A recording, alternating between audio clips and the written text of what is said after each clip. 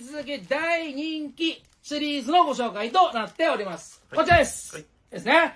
ラグビーワールドカップ2023フランスウェッペルスカップのメタルキーホルダーでございます。はいでですね、この上、トロフィーがついてますよと。この青い中には、えっと、ロゴと、もちろんラグビーワールドカップフランス2023って書いてあります。で、よーく見てですよ。このウェッブエリスカップ、トロフィーあるじゃん。うん。で、結構ね、重いんだよ。ってことは逆に考えると、あの、子供のランドセルとかつけると結構激しいから気をつけてね。そうね他のものを傷つけるかもしれない。ね。ランドセルも傷つくかもしれない。頭とか痛くなあとこれ引っ張った時にやっぱり、あの、引っかかった時に、やっぱここ、切れちゃう可能性とか、この、強そうやけど、今回のやつ。今回のやつ使わないと、で、こっちじゃねえんだよ。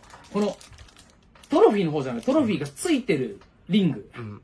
が弱そう。なるほど。そこが取れちゃうとですね、こっちの、これも取れちゃうからね。うん。もう、そうすると、ただのチェーンがついてる状態になっちゃうので、気をつけてくださいね。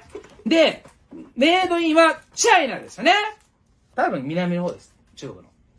うんうん。あの上海近郊じゃないと思う俺は。中国の南の方で多分作られたであろうこのトロフィーキーリングですよね。すごい重みがあってですねかっこいい。いい感じなんですけど、えっと、前話したかもしれないけどトロフィーシリーズすごい大人気なんですよ。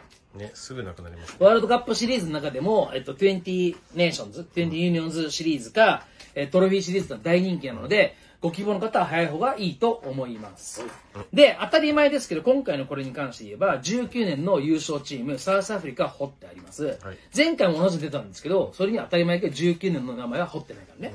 15年までしか掘ってない。ニュージーランドまでしか掘ってないけど、今回はサウスアフリカが追加になってる。それはもちろん変わってるってことですよ。はいなんで、毎年、あ、毎年毎大会ごとに集めるってのも面白いかもしれません。はい。ラグビーワールドカップ2023フランスのウェッブエリスカップメタルキーホルダーのご紹介でした。よろしければお早めにご注文のお待ちしております。